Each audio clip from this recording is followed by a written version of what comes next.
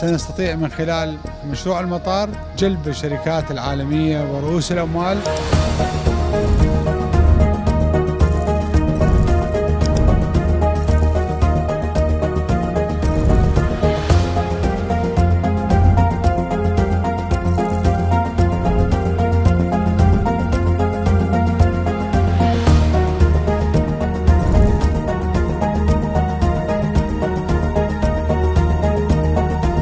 جازمين إن أهم مشروع لمدينة الموصل ومحافظة نينوى مشروع مطار الموصل الذي سينعكس إيجابا على الواقع التنموي والاقتصادي والتجاري لمحافظة نينوى. سيكون وجهة للتنقل إلى كل دول العالم.